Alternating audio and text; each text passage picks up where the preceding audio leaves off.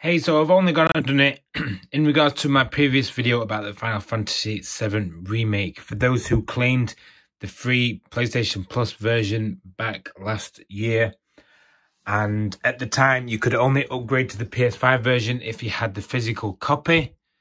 So in this video, I'm going to explain how you can upgrade to the PS5 version if you claim the free version from PlayStation Plus, but then upgraded to the PS5 version because you bought the disc and now you no longer have the disc and you wanted to upgrade still because they've recently just made it free for those who got the free version.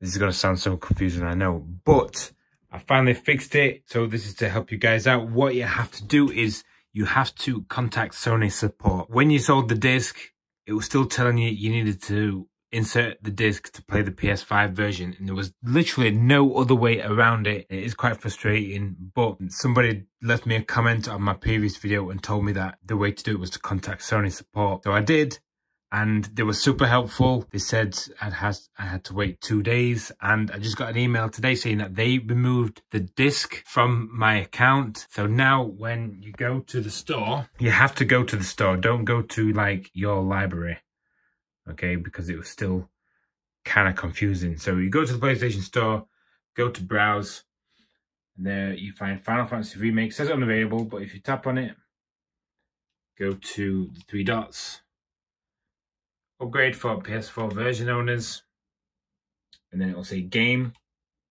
You want to drop down to the second one, add to the library, boom. So now that is the PS5 version. We're going to go ahead and download it. And I can't believe this has actually worked. I've been waiting for this for so long. I've just been wanting the PS5 version for such a long time. But yeah, all you guys need to do is contact Sony support. That can be a bit of a pain, but I'll also explain how to do it. Oh, what? Oh, I've got no storage. Okay, so I'll explain further. I'm going to head over onto my computer actually and just direct you guys to where you need to go and who to chat to just to make it easier for you. Okay, so on your desktop, or you could do this on your mobile. I would prefer on a desktop, it just makes life a little bit easier. But if you haven't, then you can do this on your mobile.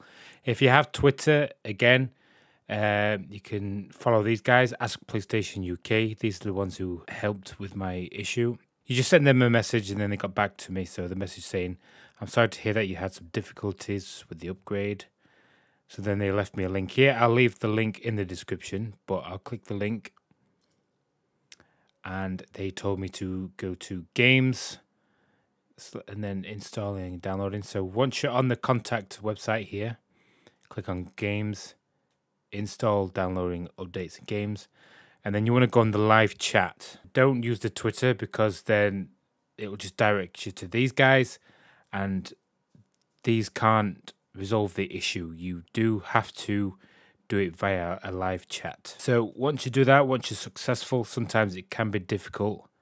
Oh, agent available. Sometimes it'll say unavailable. You just have to wait. Uh, but depending on the time, open between Monday to Friday, 10:30 to 7 p.m. depending on where you're from. I'm from the UK. Uh, so yeah, I contacted support via live chat told them the problem. They said it was okay. We can remove the disk from your account. It could take up to 48 hours. And I then, I think I got an email. I don't know. I think I got an email or something saying that they had removed it. And as you can see in the video, early on in the video, I am now able to claim the free upgrade. So I hope this video helped. If it did, leave a thumbs up. I'd really appreciate it. Still, if you've got any more questions, just let me know in the comments. And uh, thanks again for watching. Really appreciate it. See you all in the next video.